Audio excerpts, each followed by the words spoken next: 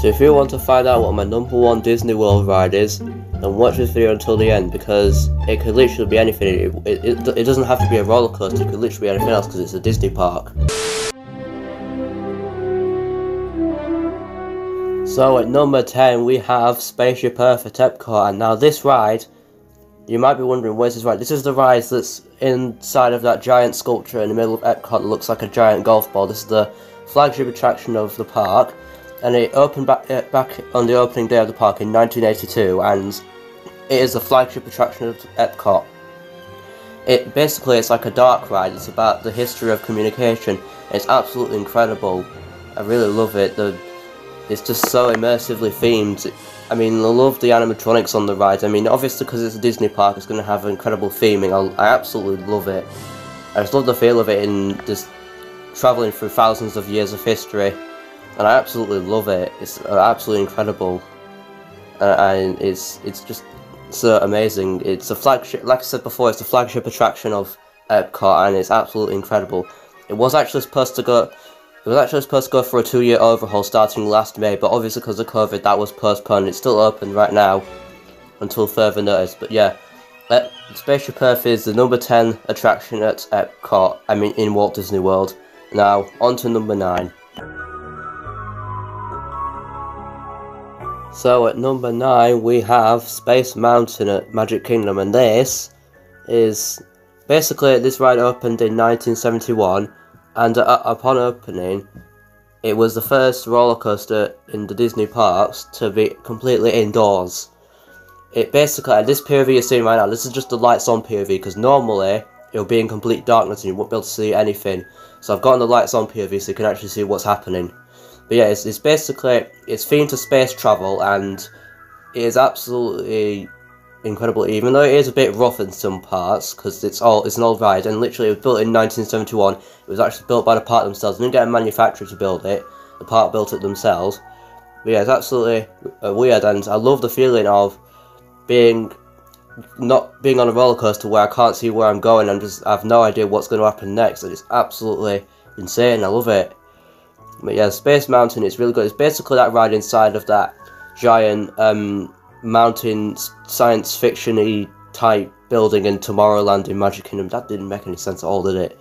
But anyway, Space Mountain is that it's a really good roller coaster. I absolutely love it. It's also one of the classic rides at Walt Disney World as well, much like Spaceship Earth and so many others on this list. So yes, Space Mountain is number nine now. On to number eight. So at number 8 we have the Haunted Mansion, also at Magic Kingdom. And I think this is another opening uh, day attraction. It opened in 1971 and it is a Omnimover, Omnimover type dark ride. And basically what that means is, it's like a dark ride but the the, the cars can move, to, can, they can spin in a certain position so that it can they, so that they can make it so that the guests can see a certain thing at a certain time and it's absolutely incredible. It's one of the best dark rides I've ever been on and it's another Disney World classic, much like the other rides on this list, and it's absolutely incredible. There's there's loads of bits. There's literally one of the most famous scenes on the ride is the it's like a a scene where it uses an illusion called Pepper's Ghost, and basically what that is, it's like a um, it's it requires glass and holograms to make it look like animatronics, but you can actually see directly through them. It's absolutely incredible. I love it. And Haunted Mansion is, like I said, one of the best dark rides I've ever been on and it's absolutely amazing. It's another classic ride, and it's a fan favourite by for, for many people. I absolutely love it. So Haunted Mansion is number eight, and now on to number seven. So at number seven we have Big Thunder Mountain, also at Magic Kingdom, and this is um, Arrow Dynamics Mine Train coaster, and I think it opened like in like the 1980s. I think it was sometime around that, and it is absolutely incredible. It's got heavily themed roller coasters. Like basically all the Disney rides in existence have incredible theming. Most of them I can think of. But it's absolutely incredible. It's there's, there's lots of airtime on it as well. I absolutely love it. And I sat at the back row and I got loads and loads of airtime and it's absolutely amazing. Like I said, it's got he heavy theming and it's there's the very bits which winding through caverns and into the cave. There's like three lift hills and two of them are indoors and it's absolutely incredible. There's loads of heavy theming and it's absolutely incredible. I love it. So um, Oh yes, Big Thunder Mountain is number 7 and now on to number 6. So at number 6 we have Millennium Falcon Smuggler's Run at Disney's Hollywood Studios. And this ride it is insane. This is the actual ride you're looking at here. It is so really, it's absolutely incredible, I love it. Basically, it's opened in 2019 at Star Wars Galaxy's Edge as part of a new area at Disney Hollywood Studios. And it's supposed to be as if you're actually flying in the Millennium Falcon. It's absolutely incredible. It's even an interactive experience. In fact, the Disney even partnered up with a game engineering company just to build this ride because it's like there's even controls you can do to control the, the speed of the ship, the, the you can move it around, you can fire things. It's absolutely incredible, and it, the the the the ride, it's like I said, it's supposed to be flying the Millennium Falcon. It's absolutely incredible. It's so immersive. You, you actually feel like you're actually flying in the Millennium Falcon, and it, it's absolutely incredible. I mean, Star Wars fans would definitely love this ride. I mean, uh, even that right now it only has one mission on it. Basically, that means like one experience. Disney have said that, that it can have multiple different experiences on it in the near future. So hopefully, by the time I go back to Disney, they will have implemented that into it. So yeah, Millennium Falcon Smuggler's Run is number six, and now on to number five. So we have now reached the top five, and at number five we have Test Track at Epcot, and this ride is the fastest ride in all the Disney parks around the world. It's absolutely incredible. It's basically the, the theme of the ride is that you've designed your own car for Chevrolet and you are testing it in multiple different ways and it's absolutely incredible. And you actually get to design your own car before the ride actually starts. It's absolutely amazing. And it oh, originally opened, I think, in like 1982 with, with the park, but in 2012 it got refurbishment and it got the Chevrolet sponsorship. It's absolutely incredible. I mean, the ride is rumoured to be, get a new sponsor. It's rumoured to be sponsored by Tesla in the near future, although so far that hasn't happened.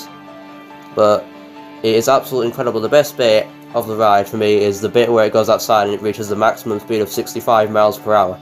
It's absolutely incredible. I, I, I really love it. I just love the feeling of racing really fast in a car outside in Epcot. It's absolutely insane. I love it. So yes, Test Track at Epcot is number 5 and now on to number 4. So at number 4 we have Rock and Roller Coaster at Disney's Hollywood Studios. Now this ride is the only ride in the entire Walt Disney World Resort to have inversions. It has three inversions. It has a, a, a sidewinder which counts as two inversions and it has a corkscrew. And it, once again it's another indoor roller coaster which is why it has the lights on POV because normally it would be in complete darkness and it also has on onboard audio playing Aerosmith songs. It's absolutely incredible.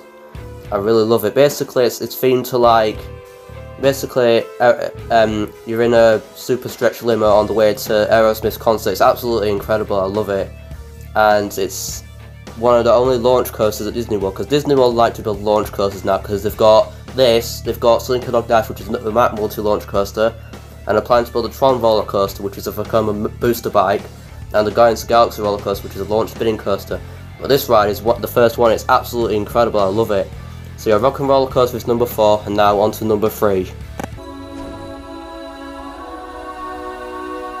So at number three we have Avatar Flight of Passage at Disney's Animal Kingdom. And I know what you're thinking, this isn't a scene from the movie Avatar, this is the actual ride. It's a 4D simulator type ride that opened in 2017. This is what the ride actually looks like, as you can see here with the moving cars, and it is absolutely incredible that the, the, the views you get on the ride is absolutely breathtaking, and it's, it's just so incredible. Basically, the story of the ride is you're linked to an avatar via the link chairs, and you are riding on a banshee around Pandora, and it is absolutely incredible. And now that I've seen the film, I know how it all makes sense because when I went on it, I no, I didn't see the film, so I had no idea what was happening. I well, I kind of did because I heard about it, but then I saw the film, and it all started to make sense.